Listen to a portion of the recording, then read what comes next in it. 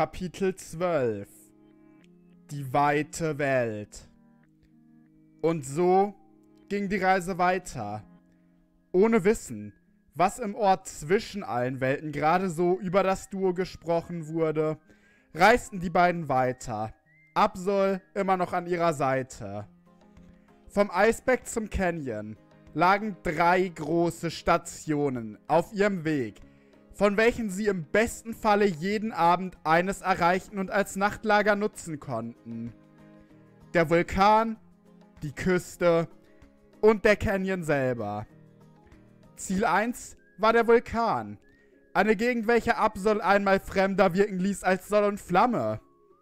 Die beiden waren bereits in ihrer eigenen Heimat Teil großer Ereignisse geworden, welche sich an einem solchen abspielten.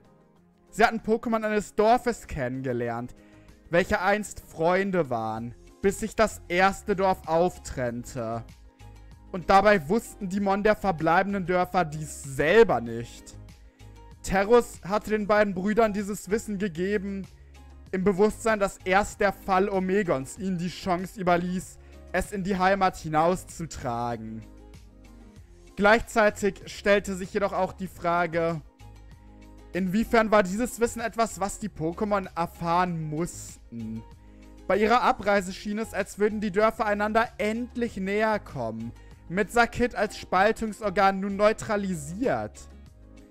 Was dieser wohl gerade machte. Gerne war Flamme optimistisch, dass er tatsächlich die Zeit nutzte, sich selber zu finden und ein Krieger zu werden. Ein wahrer Krieger.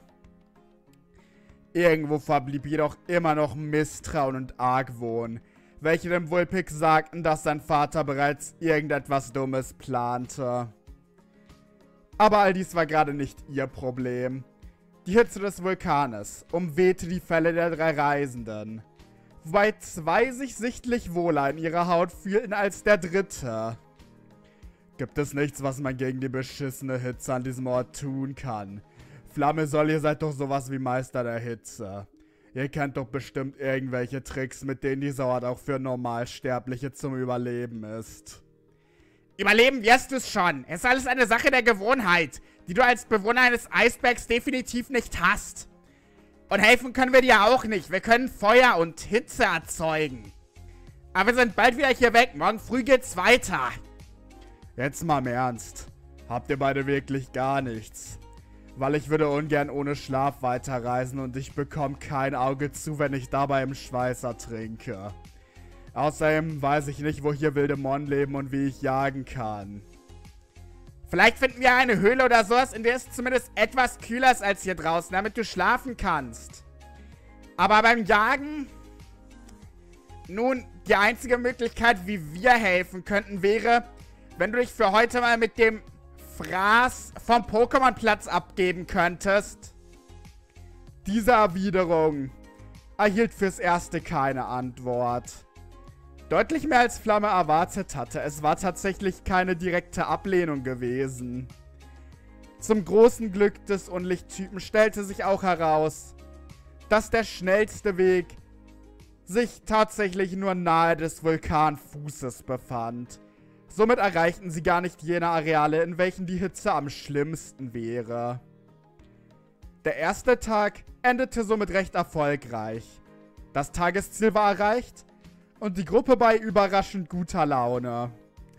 Seit dem Aufbruch war noch kein tatsächlicher Streit ausgebrochen. Sol hatte sich scheinbar die Worte Absols zu Herzen genommen und für wahr befunden. Zwar spürte Flamme immer noch ein Stechen, wenn er an den baldigen Abschied von seinem neuen Freund dachte. Doch seine Bestimmung lag nun einmal woanders. Die Jagd konnte Absol an jenem Abend tatsächlich völlig vergessen. Man könnte meinen, Berg wäre Berg und teils stimmte dies auch. Die Untergründe, Felsen, alles drumherum waren perfekt für Absol für die Jagd. Er fühlte sich beinahe heimisch bis er betrachtete, wie sehr seine Agilität unter der Hitze litt. Und vor allem, wie sehr sein im Schnee tarnendes Fell an einem Ort wie diesem auffiel. Wohl oder übel. Gab also auch er sich an diesem Abend hin und ließ sich etwas von den Brüdern abgeben. Von der reinen Art, wie das Absol fraß, glaubte Flamme beinahe, dass er sich umentschieden hatte und diese Art der Nahrung doch gar nicht so schlimm fand. Das oder Absol fraß schnell, ums schnell hinter sich zu haben. Oder er hatte genug Hunger, um schlechten Geschmack zu ignorieren. Aber solange Flamme nicht mehr wusste, wollte er einfach an die erste Option glauben und dementsprechend tat er das. Mit jedem Meter, welchen die Gruppe am zweiten Morgen zurücklegte, schien Absol zufriedener und entspannter. Der Grund war klar, als die Temperatur spürbar weiter und weiter abnahm. Und je niedriger diese war, desto besser für den Schüler. Ihr nächstes Ziel wäre die Küste. Ein Ort, der für beide Parteien, sowohl die Brüder aus dem Forst, auch als Volnonas Schüler, eine Gemeinsamkeit hatte. Sie kannten ihn vom Hörensagen. Doch sie waren selber nie dort gewesen.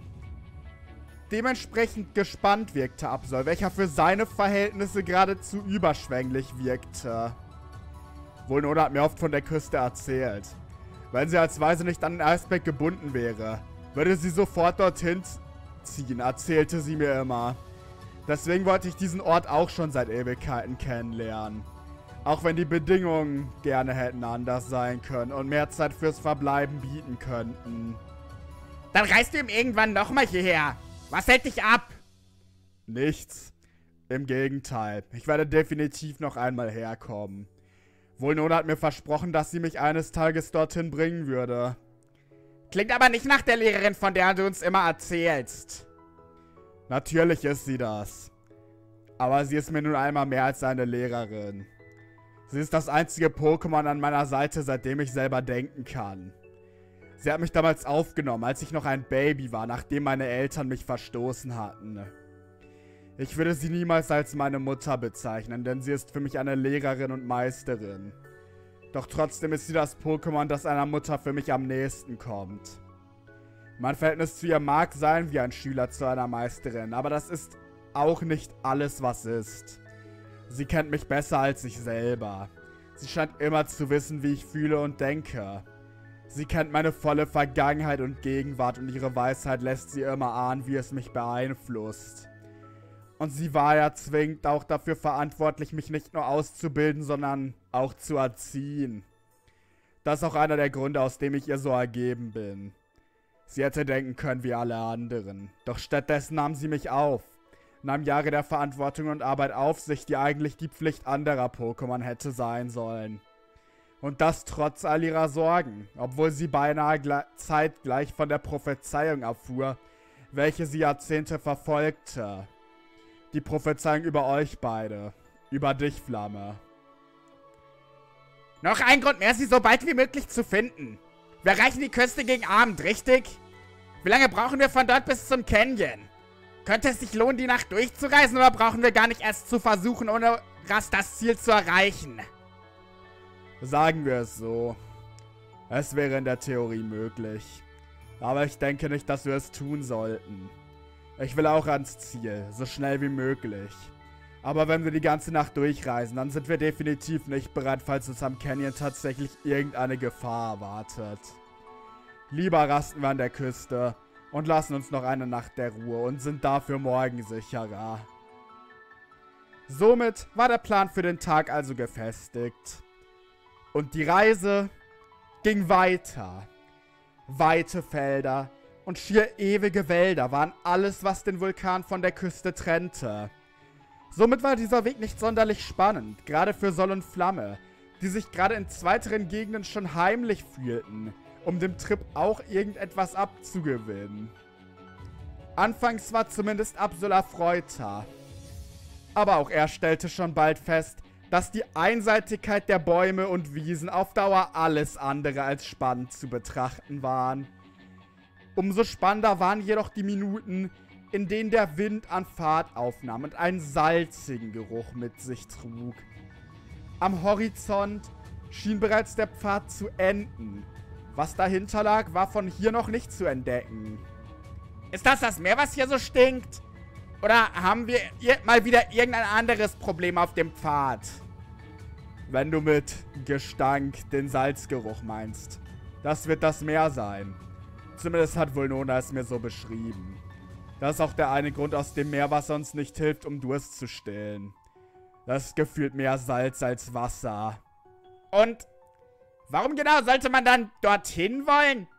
Ein Haufen Wasser, das stinkt und nicht trinkbar ist? Man muss Wasser nicht trinken können, damit es einen Zweck hat. Es gibt viele Pokémon, die im Meer leben. Manche könnten nicht einmal im Süßwasser auskommen. Und für alle anderen, die Luft ist erfrischend und gesund. Der Anblick unglaublich. Denke ich. Ich zitiere ja auch nur. Bald musst du nicht mehr zitieren. Das davon, da müsste es ja sein. Der Tagesplan folgte immer noch genauso, dass an jenem Ort nicht nur die Küste wartete, sondern auch die Sonne bereits hinter dem Horizont verschwand. Ihr orangener Schein lugte noch hervor, wo der Grund in der Ferne zu schwinden schien. Als die Klippe jedoch erreicht war, schreckte Flamme erst einmal zurück. Die Sonne reflektierte sich vom Wasser. Der orangene Schein erhellte alles. Wie ein Inferno. Es war deutlich heller, als das Vulpix vermutet hatte. Absol hingegen schien seinen Blick gar nicht mehr abwenden zu können. Das hier ist sie. Die Küste. Das Meer. Es ist alles genau wie Vulnona es beschrieben hat. Nur irgendwie mächtiger. Und hier ist so viel Wasser. Woher kommt das alles? Ich wusste nicht, dass es überhaupt so viel Wasser in einer Welt geben kann. Nun, laut Vulnona ist das noch lange nicht alles. Was wir hier sehen, ist nur ein Bruchteil des Meeres und das Meer, Meer ist nur eines von vieren. Die meisten Welten bestehen großteils aus Wasser und nicht aus Land. Das verstehe ich jetzt aber auch nicht. Warum? Es leben doch so viel mehr Pokémon an Land. Weshalb will ein Weltengeist seine Welt so gestalten? Ich weiß es nicht. Aber ich bin mir sicher, dass es Gründe gibt. Gute Gründe. Aber keine, die in unserem Verstehenshorizont liegen. Genau wie die Welt vieles birgt, was sich weit hinter unserem Horizont verbirgt. Ferne Kontinente, die Tiefen des Meeres. Pokémon, die auf Weisen leben, die uns unverständlich sind. Genau wie unsere es für sie wären. Genau das macht das Leben doch aus. Man kann ja alles lernen. Und auch nie genug. Selbst als Weiser. Und vieles Wissen kann man auch gar nicht erlernen durch Pauken und Theorie. Sondern nur durchs Leben. Siehst du? Genau das sage ich euch doch. Deswegen will ich auf Reisen gehen. Die Reisen sind für mich nur ein anstrengender Weg. Gerade als Weiser muss ich einfach lernen, welches Wissen ich wahrlich benötige und welches nicht. Wollen wir wirklich schon wieder damit anfangen? Lasst uns lieber da runter. Runter? Der schnellste Weg ist der Küste weiter zu folgen, nicht an den Strand zu gehen. Du meintest, wir sollten an der Küste rasten. Also lass uns doch die Zeit nutzen, die wir zu früh hier waren. Du warst doch derjenige, der dringend an die Küste wollte. Dann lass uns die Zeit hier doch nutzen, oder nicht? Kurz wirkte Absol verunsichert. Er wollte so schnell es geht seine Mentorin finden, aber andererseits... Die Nacht hier zu verbringen war ja ohnehin der Plan gewesen. Und nach all den Jahren des Wartens war dies doch eine Gelegenheit, die er sich nicht einfach entgehen lassen konnte. Also gut. Hast mich überzeugt. Schwer war das nicht gerade? Wäre es dir lieber, wenn es das wäre. Also, Lass uns an den Strand gehen, bevor ich mich entscheide, aus Prinzip dagegen zu sein. Das war wahrlich kein Risiko, welches die Brüder eingehen wollten. Stattdessen begab das Trio sich also hinab, ans endlose Wasser, welches ihnen allen wie ein Wunder erschien. Hier würden sie rasten, einige Stunden verbringen, bevor es zum Ziel dieses Trips gehen würde. Und wer konnte wissen, was sie am nächsten Tag erwarten würde?